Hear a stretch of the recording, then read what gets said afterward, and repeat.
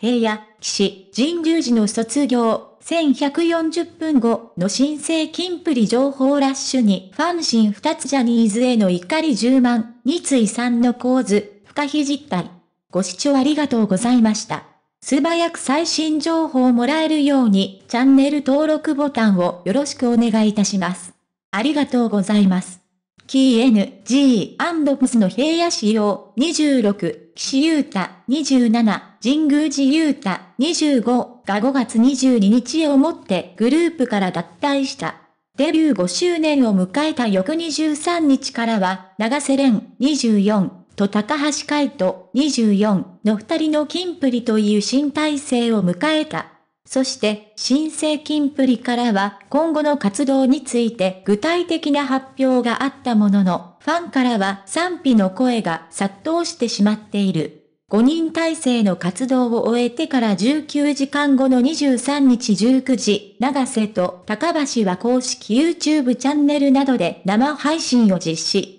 100万人以上が視聴する中、メンバー3人が脱退し、悲しみに暮れるファンに対し、長瀬は、もう泣くな、泣くな、と呼びかけた。生配信では、6月21日に13シングル、何者をリリースすると発表。同曲は高橋が出演するドラマ、だが、情熱はある、日本テレビ系の5月28日放送回から主題歌に採用されるという。7月2日には東京有明アリーナで初のファンミーティングを開催。約1万5千人を動員するファンミオに公演実施する。長瀬はファンと楽しめる企画を考えていると示唆。さらに5月20日に放送終了したグループの冠番組、KNG&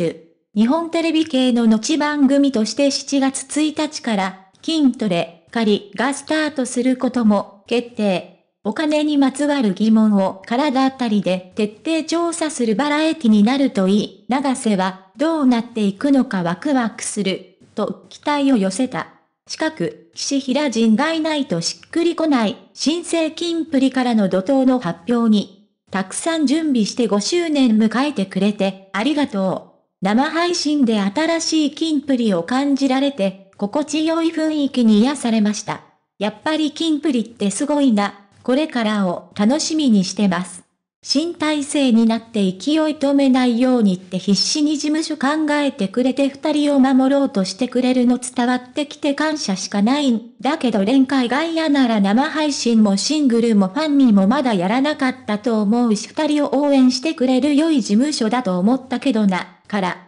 など、長瀬と高橋、さらに活躍の場を用意するために尽力したであろうジャニーズ事務所に感謝する声が寄せられた。一方で、露骨すぎて、二人で新曲とファンミニ新番組、事務所のやり方が多すぎる。これは、キンプリのファンが、かわいそう、5人とお別れの場は用意してくれなかったくせに、ファンミはできるんだ。簡単ふ。事務所。簡単ふ。ファンにも紫輝くんしてみたいって言ってたよね疑問符事務所があからさますぎて在連会も好きだけど岸平人がいないとしっくりこないっていうか。と、平野、岸、神宮寺の脱退からわずか1140分後に続々と今後の展開を発表するという事務所のやり方を批判する声も少なくない。四角怒涛の情報公開で、三井さんの対立が加速。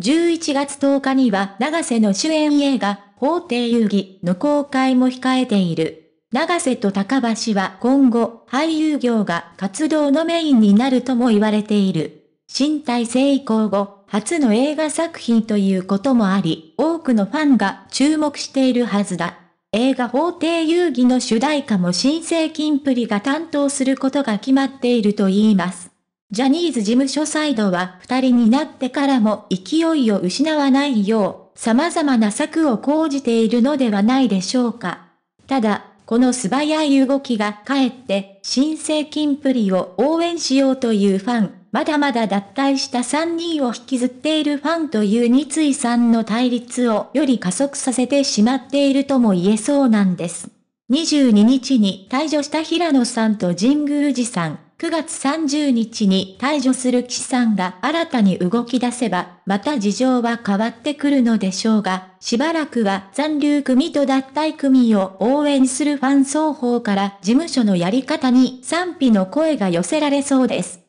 ワイドショー関係者、長瀬と高橋、そして平野、神宮寺、騎士の今後の動向にますます注目が集まっている。近く、ほっぺがパンパンの岸平、平野仕様の白真頬張り、顔岸優太のほぼくれ新横顔にファン不当不当。キー N、G& ピスル。の公式ツイッターはキー N、G& ピスル。矢印キー N、G& ピス新番組、準備中にアカウント名を早くも変更。日本テレビ公式キー N、G& ピスル。アカウントは2023年7月1日から始まる KNG& プスの新番組にバトンパスします。と説明している。